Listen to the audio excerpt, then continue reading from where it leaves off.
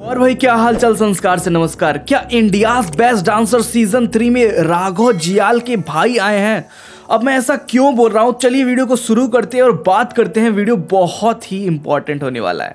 यार, हम आप सबको बता दें कि India's best dancer season three में कोरियोग्राफी के लिए काफ़ी सारे लोग डिमांड कर रहे हैं कि राघव जियाल को यहाँ पे रखा जाए। लेकिन भाई, ये पॉसिबल तो नहीं। अब सवाल यहाँ पे ये उठता है कि कौन है कौन सा ऐसा कंटेस्टेंट है जो राघव जियाल के भाई हैं? तो आप सबको पहली चीज़ बता दें कि ऑडिशन में एक कंटेस्टेंट को आप सब देखे होंगे, जिनका नाम है समर्पण लामा।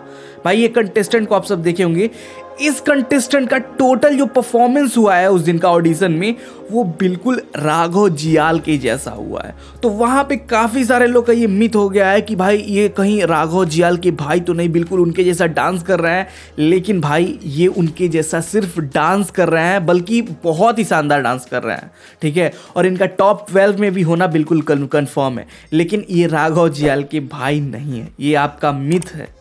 तो गाइस यही है सच्चाई। अगले वीडियो में लेंगे किसी इंपॉर्टेंट टॉपिक के साथ। तो लव यू थैंक यू